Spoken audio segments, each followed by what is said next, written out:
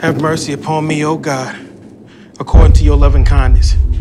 According 12 22 64. Just past the year post of JFK's assassination. Racial tensions at an all time high. My life at a major turning point.